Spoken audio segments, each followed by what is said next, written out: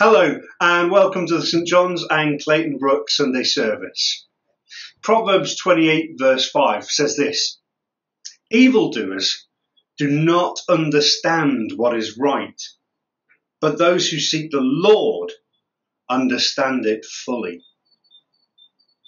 So this morning, grace, mercy, and peace from God our Father and the Lord Jesus Christ be with you, and also with you. I want to start us this morning with some church family news. Uh, I know that many of you already know that our dear sister Dora ha- has gone to be with her Lord and Saviour Jesus Christ just a couple of weeks ago. Her funeral will be tomorrow in St John's, so please be praying for her family.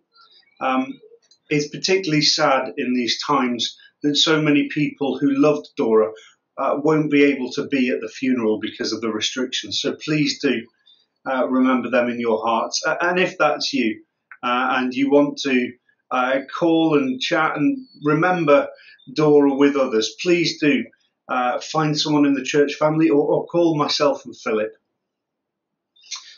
Secondly, our Lent course uh, started this, just this last week. We had a great first session from John Lennox, uh, looking at uh, what the gospel looks like in a COVID world. This week, on Wednesday evening, we're looking at what the Bible teaches us about race, especially in the light of this past year's worth of uh, racial unrest around Black Lives Matter, uh, and we'll be looking at that from a Christian perspective. Thirdly, uh, just a date for the diary on the 13th. We've got a, a prayer breakfast booked in.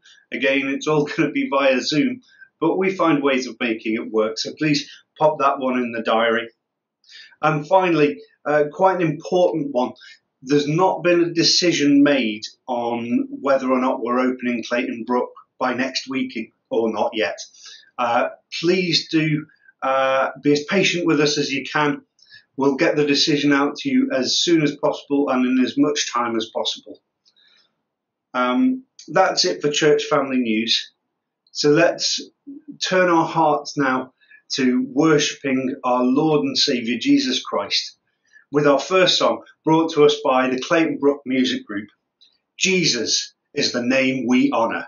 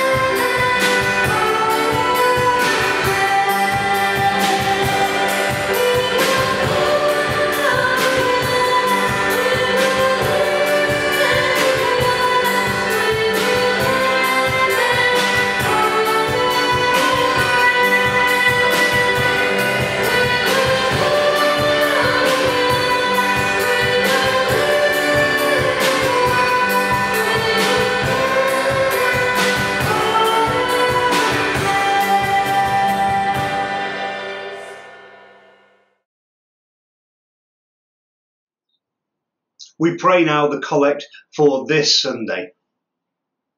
Almighty God, by the prayer and discipline of Lent, may we enter into the mystery of Christ's sufferings and by following his way, come to share in his glory. Through Jesus Christ our Lord. Amen. Jesus says, Repent, for the kingdom of heaven is close at hand. So let us turn away from our sin and turn to Christ, confessing our sins in penitence and faith. Lord God, we have sinned against you. We have done evil in your sight. We are sorry and repent. Have mercy upon us according to your love. Wash away our wrongdoing and cleanse us from our sin. Renew a right spirit within us and restore to us the joy of your salvation. Through Jesus Christ our Lord. Amen. And may the Father of mercies cleanse you from your sins and restore you to his image, to the praise and glory of his name, through Jesus Christ our Lord. Amen. We're going to have the final part of our series of big Bible words now. It's a summary of all the big Bible words we've had so far. And then following that, we've got our kids song, Justified. It's the final of our big Bible words. Justified, just as if I'd lived Jesus' life.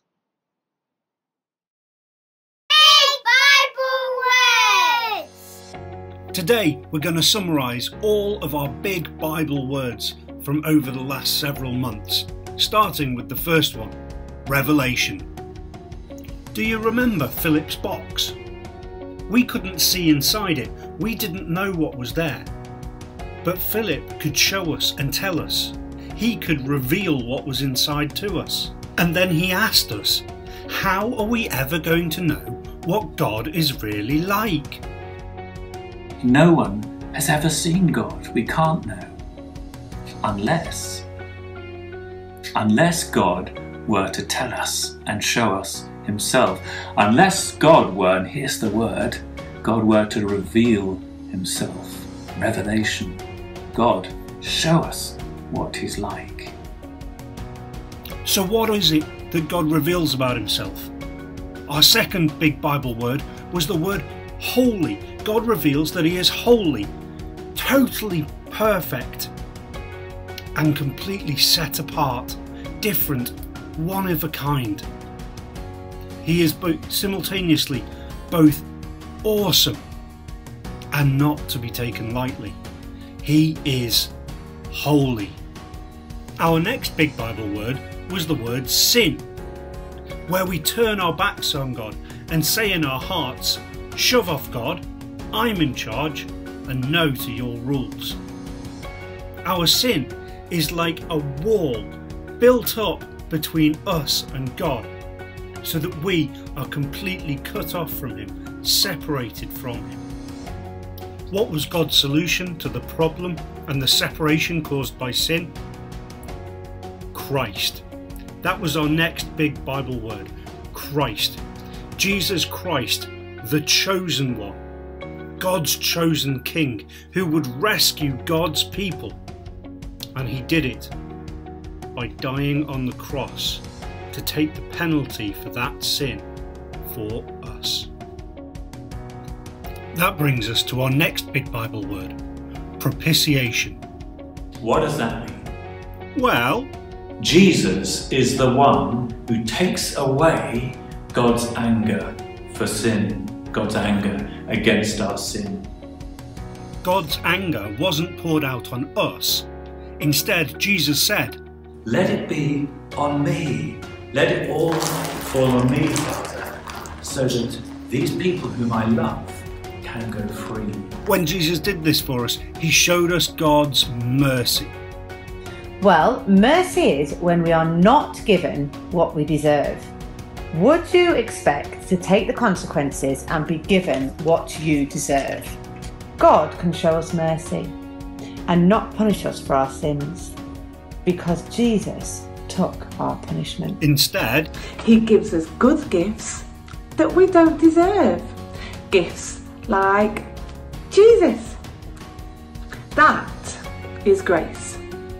For God so loved the world that he gave his only Son, that whoever believed in him shall not perish, but have eternal life. having given us grace, God calls us to repent. That's our next big Bible word. It comes from the army. It literally means turn round and walk in the other direction. We've spent a life walking away from God, sinning, having that barrier between us. And we are called to repent, to turn around and come back to God. Turning back to God means to have faith in Him. And that was our next big Bible word. Faith means trusting someone to do just as they have said. God says we should have faith in Him to do what He has said, which is to rescue us from sin and to forever life. Because God can be trusted and will always keep his word. When we put our faith, our trust in Jesus, God makes us so joined to Jesus that it's it becomes that Jesus has lived a perfect life for us. Justify means that God treats us as people who are not guilty, who have kept the law, so that we can be his friends and have his forever life. And all because of Jesus. He lived a perfect life, he always kept God's law, and then he died on the cross to take everyone else's punishment on himself. It's as though we could say Jesus went to prison instead of us. And there we have it. Through revelation, God shows us that He is holy and that we have sinned against Him and cut ourselves off from Him. He sends Jesus Christ to be the propitiation for our sins, showing us great mercy and grace. We are called to repent, to turn back to God and have faith in Jesus Christ. And through that faith, God will justify us. So, those are our big Bible words. I hope you've enjoyed them just as much as we have.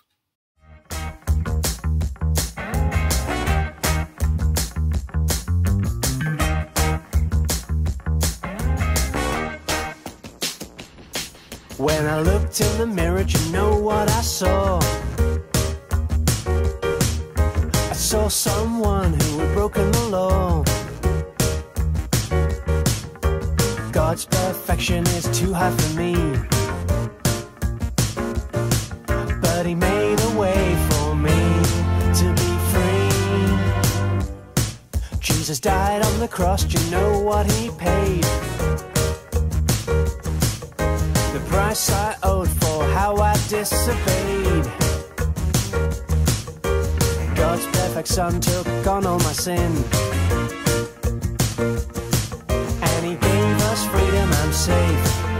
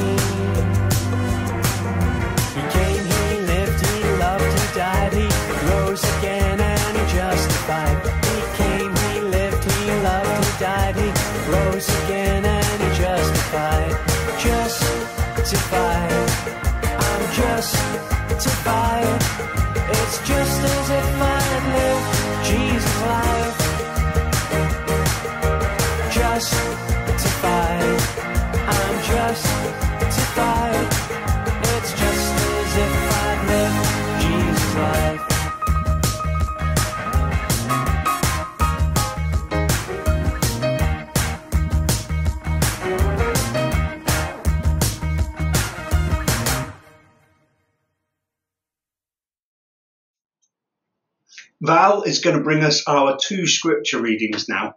First from Jonah chapter 4, which Philip will come to preach on straight afterwards.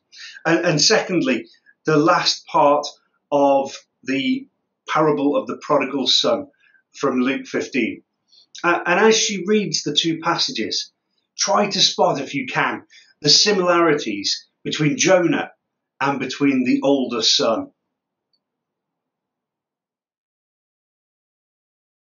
The first reading is from Jonah chapter 4, beginning to read at verse 1. But Jonah was greatly displeased and became angry. He prayed to the Lord, O Lord, is this not what I said when I was still at home? That is why I was so quick to flee to Tarshish. I knew that you are a gracious and compassionate God, slow to anger and abounding in love a God who relents from sending calamity. Now, O Lord, take away my life, for it is better for me to die than to live. But the Lord replied, Have you any right to be angry? Jonah went out and sat down at a place east of the city. There he made himself a shelter, sat in its shade, and waited to see what would happen to the city. Then the Lord God provided a vine and made it grow up over Jonah to give shade for his head to ease his discomfort. And Jonah was very happy about the vine. But at dawn the next day, God provided a worm, which chewed the vine so that it withered. When the sun rose, God provided a scorching east wind, and the sun blazed on Jonah's head, so that he grew faint he wanted to die and said, It would be better for me to die than to live. But God said to Jonah, Do you have a right to be angry about the vine? I do, he said. I am angry enough to die. But the Lord said, You have been concerned about this vine, though you did not tend it or make it grow. It sprang up overnight and died overnight.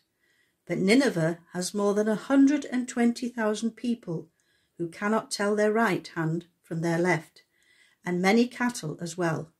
Should I not be concerned about that great city? The second reading is from Luke chapter 15, reading from verse 25. Meanwhile, the older son was in the field. When he came near the house, he heard music and dancing. So he called one of the servants and asked him what was going on. Your brother has come, he replied, and your father has killed a fattened calf because he has him back safe and sound. The older brother became angry and refused to go in. So his father went out and pleaded with him. But he answered his father, Look, all these years I've been slaving for you and never disobeyed your orders. Yet you never gave me even a young goat so I could celebrate with my friends. But when this son of yours, who has squandered your property with prostitutes, comes home, you kill the fattened calf for him.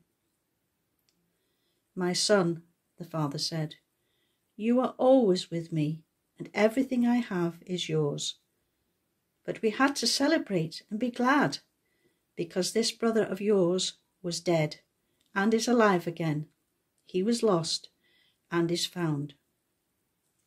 This is the word of the Lord. Thanks be to God.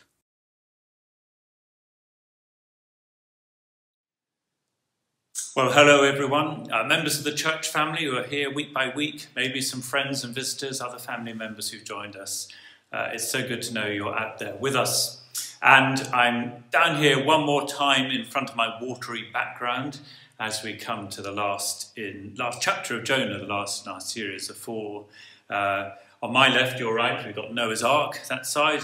On my right, we've got Mount Sinai bursting into flame, which means Jonah must be somewhere way over there, probably roughly in the middle of the A6. Let me pray for us as we open God's word now. All scripture is breathed out by God.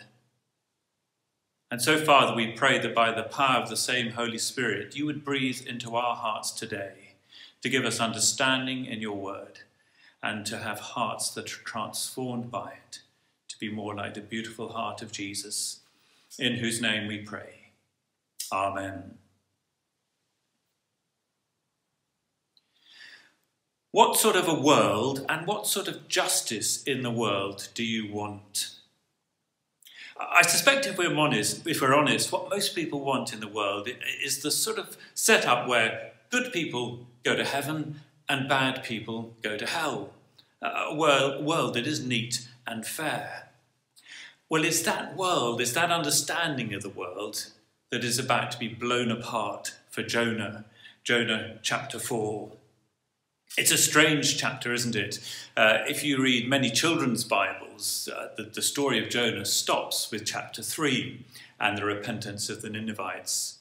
Because what you do with chapter 4, which is both sort of tragic and comic together, uh, Jonah uh, apoplectic with fury because God has been merciful, Jonah overjoyed because this plant grows up over his head, and then heartbroken when it dies. What do we do with this? Well, actually, it's the whole point of the book. It brings it to its conclusion. Uh, in the writing of the chapter, twice we are referred to Jonah's anger, and both times reveal Jonah's heart, but then in the dialogue with God also reveals God's heart and the contrast between them. And God's aim, God's purpose in what's going on here is to bring Jonah's heart more into line with his. And therefore, friends, of course, your heart and mine. Let's dig in, chapter, uh, verse 1. Uh, the Ninevites have repented, God has spared them. And then verse 1 But to Jonah this seemed very wrong, and he became angry.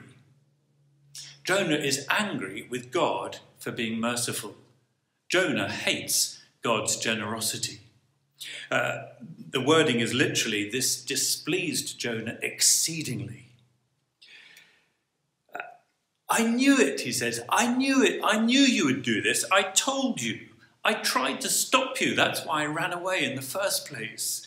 Uh, verse 2 I knew that you are a gracious and compassionate God, slow to anger and abounding in love, a God who relents from sending calamity. I knew it. He, he understands God rightly, and he doesn't like it. He's furious about it.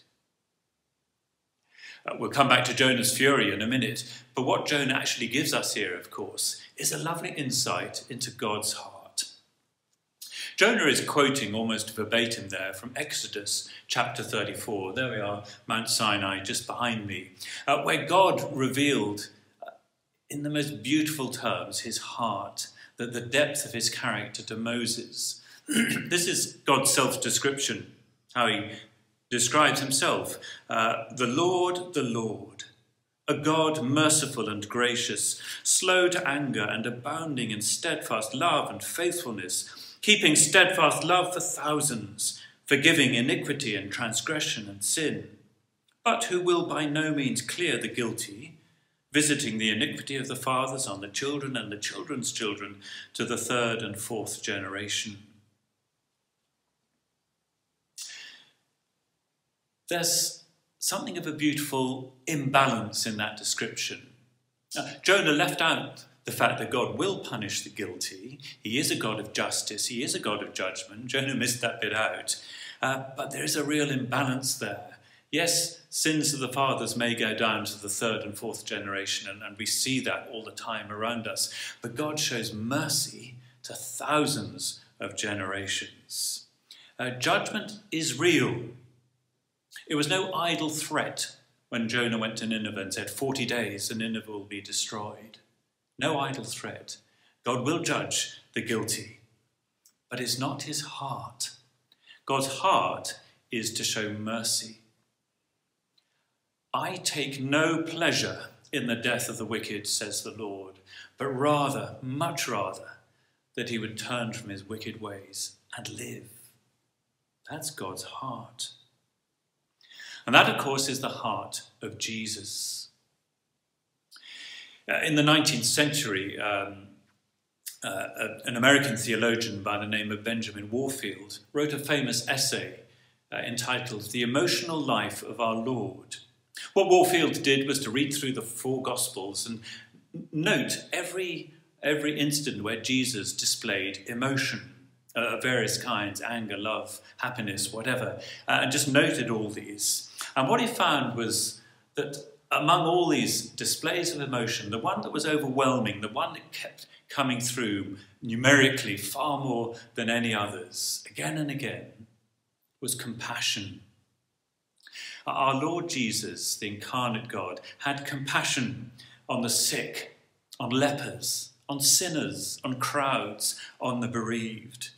He had compassion on Jerusalem, his enemies who were going to destroy him. Just days before entering the city, Jesus wept over it, said, If only, if only you had known this day what would make for peace. The very people were out to kill him, he longed for their salvation. And so, what God calls Jonah to do, and indeed calls us to do through Jesus, which is to love our enemies and to pray for those who persecute us, of course, Jesus displayed to absolute perfection.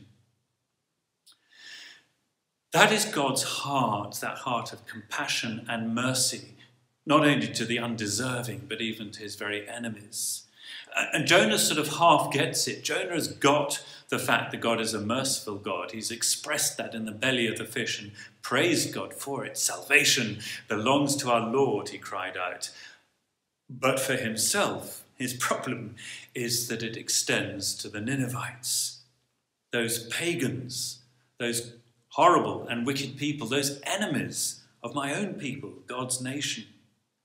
And we can imagine that Jonah might have sung with Charles Wesley, Tis mercy all, immense and free, for, oh my God, it found out me. But what he couldn't sing was, For, oh my God, it found out them. That was a step too far for Jonah. And of course, Jonah is not alone. People struggle with God's mercy and his generosity. I mentioned a couple of weeks ago, uh, people think that they hate the idea of God's judgment, but actually, I think more they hate the idea of God's mercy. That God could forgive that person after what they've done. It's the problem of grace. Grace, by definition, is to the undeserving, and it is unlimited. So grace reaches even them, people of that religion, people of that race, people who've lived that lifestyle and done those things. God's generosity is uncomfortable. Now, Jesus understood that we have a problem with this, didn't he? He, he um, told a, parable, many of you will know this parable, uh, about a landowner who owned a vineyard and needed workers, and he went out and hired some men to work for the day and promised them a fair day's wage. Halfway through the day, he hired some more and set them to work. And then one hour before sunset, he hired a third lot just to do an hour's work. And then at the end of the day, paid them all the same, a denarius, a day's wage. And those who started first were furious. But if you know that parable and you hear it, if you're honest, doesn't it make you wince just a little? I, it is unfair, isn't it? They worked the whole day and they worked an hour and they get the same. God's generosity to the undeserving, it's uncomfortable. Let me tell you a story against myself. Uh, in an earlier ministry in another church, there were a couple of Christian families there uh, who I was sort of disappointed, frustrated with. They had teenage boys, and I just thought they could be doing so much more to help those boys grow as Christians and develop in their faith. They didn't really commit to church, they were often not there, Uh, the boys fooled around, didn't take anything seriously. Well, I moved on, and a few years later heard that one of these boys from one family was thinking about getting ordained. Uh, the other one was heading up, leading the Christian Union in his university, which is wonderful. But to my shame, here's the Jonah in me. There was that bit of me that thought, that's not fair. There are other parents who've worked so hard to guide their children in the ways of the Lord. Did they deserve that?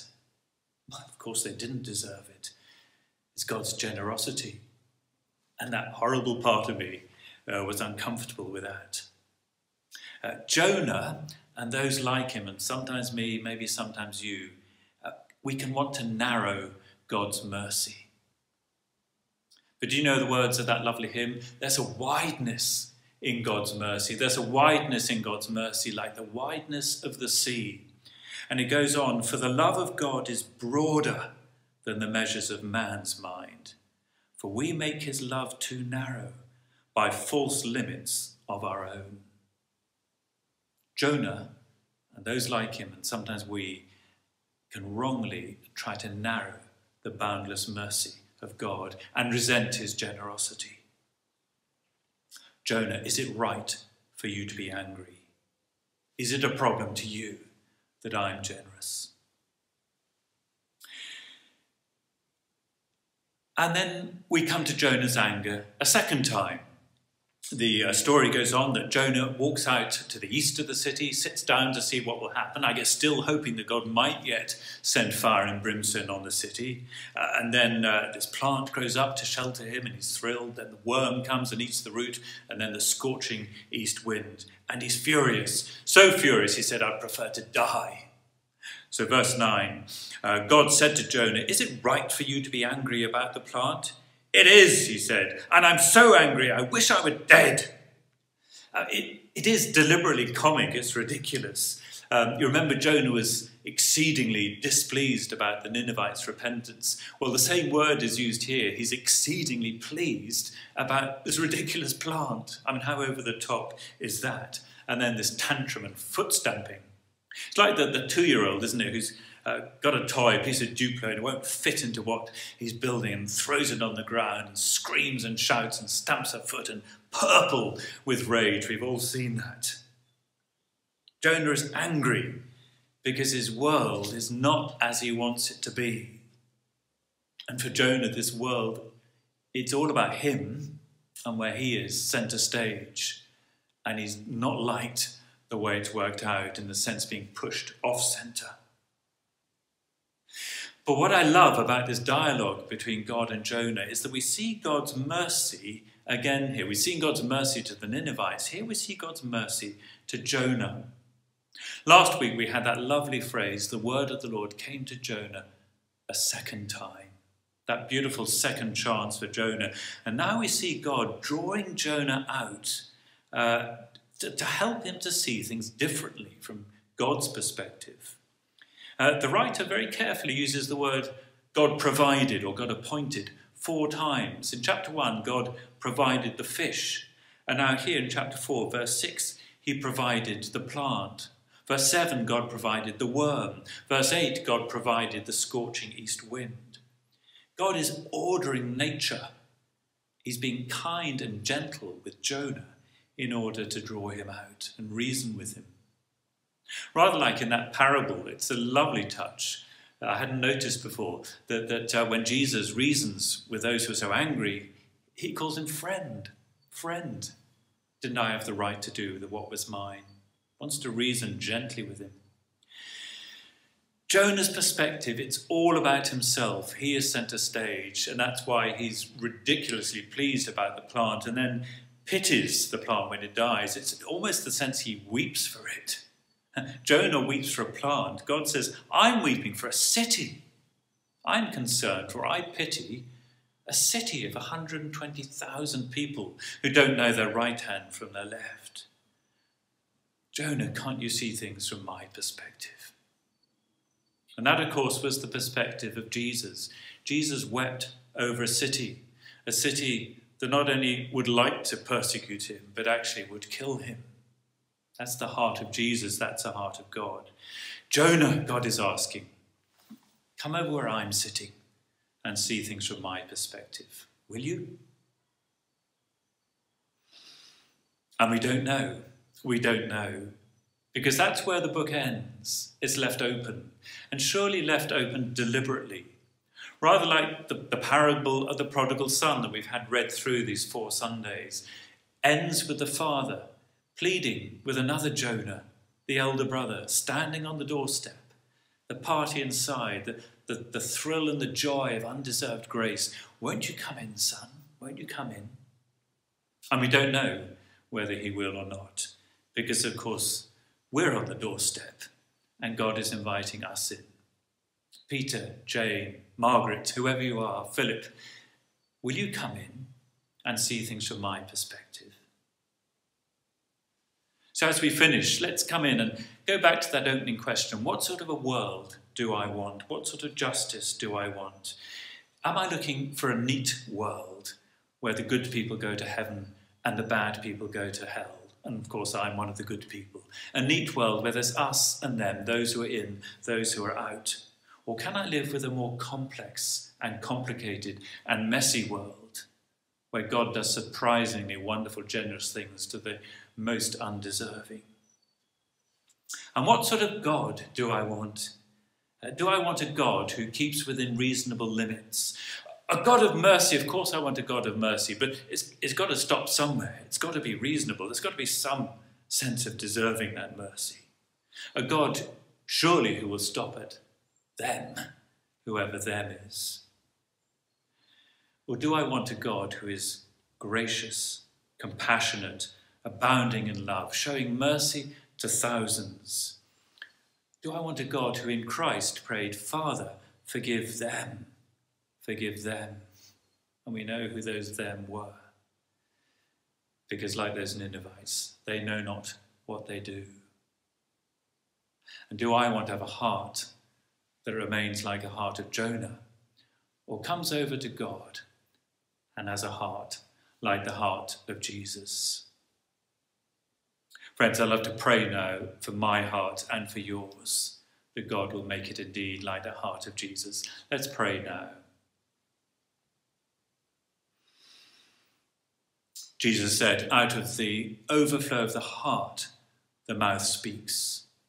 Out of the heart come evil deeds and evil words and evil thoughts. Gracious God, without your cleansing work in our hearts, we, we stand not a chance. Lord, as you've brought us to yourself, as you've brought us to see and to receive your beautiful mercy, would you give us that heart that is in you, that heart that was so perfectly expressed in our Lord Jesus Christ, a heart that has compassion for the weak, love for the undeserving, pity for the broken. As Charles Wesley sang in, in another hymn, a copy, Lord, of thine. Father, give us the heart of Jesus, we pray. For we ask it in his name and for his sake. Amen. Amen.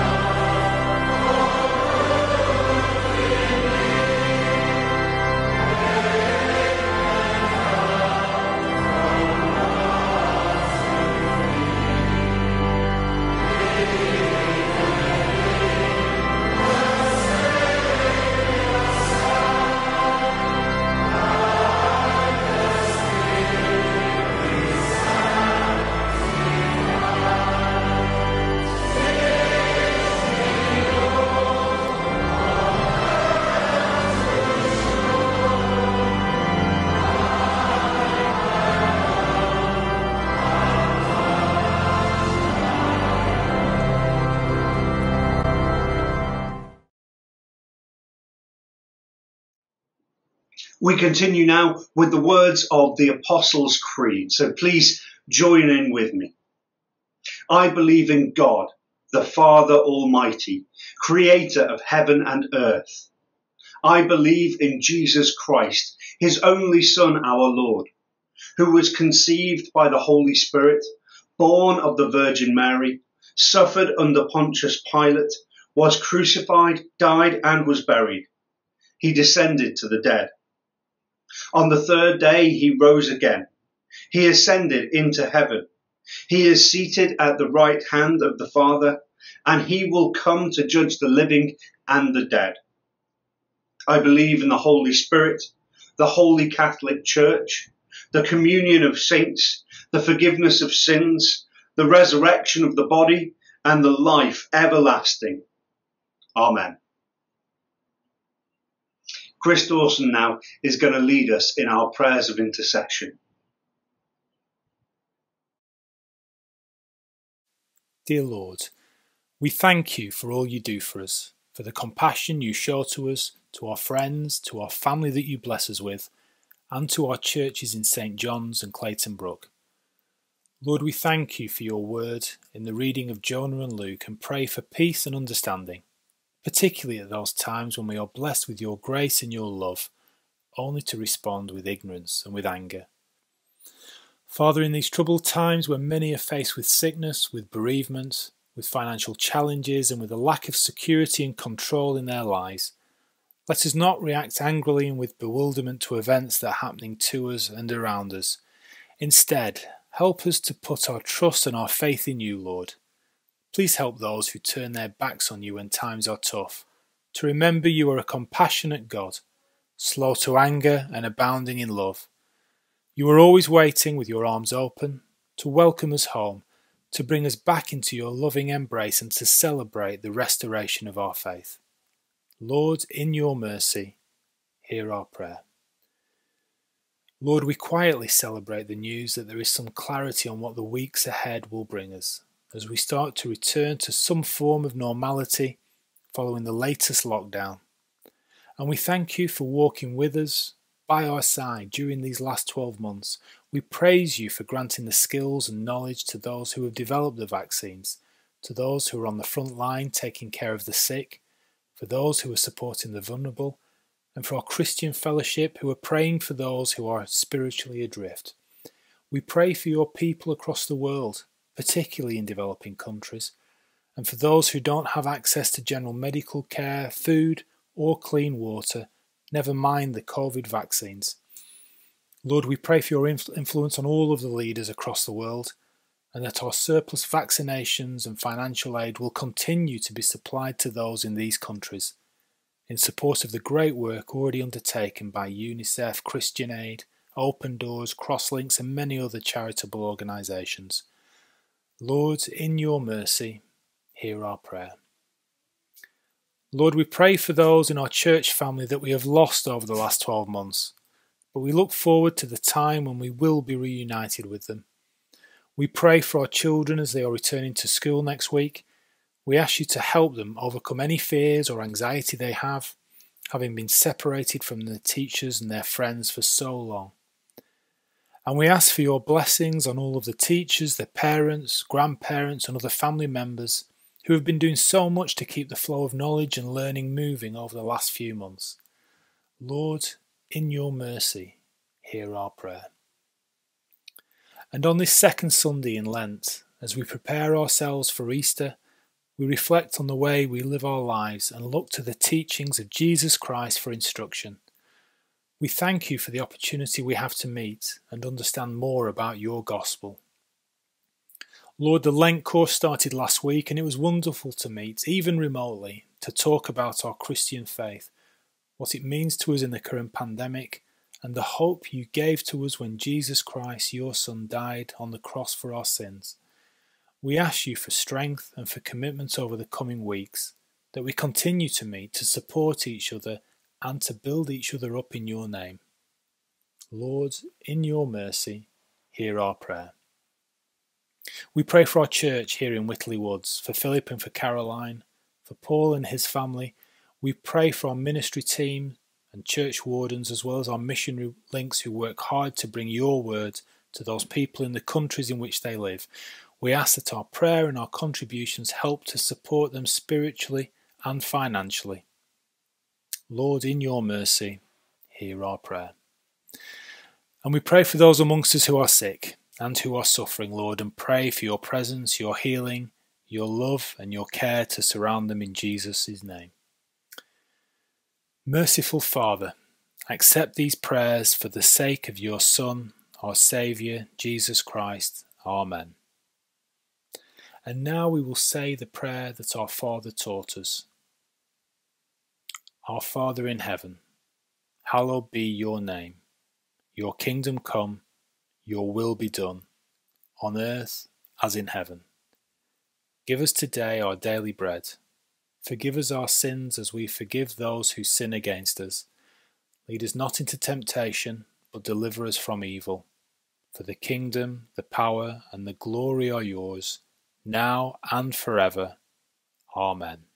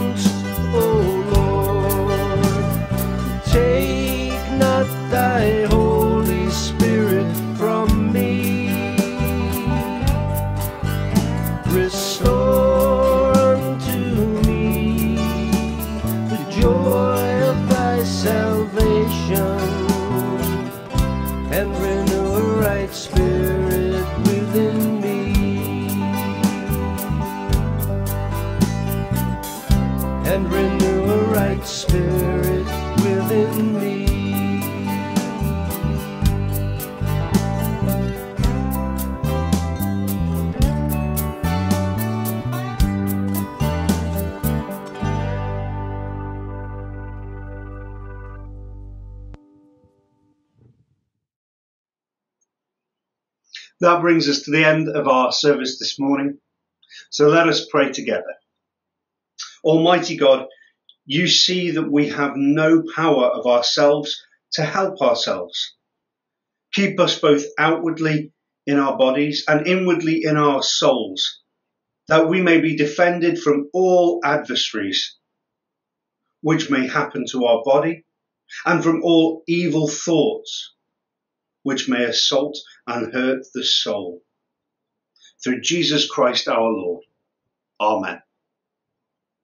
And may the blessing of God Almighty, the Father, the Son, and the Holy Spirit be upon you and remain with you always. Amen.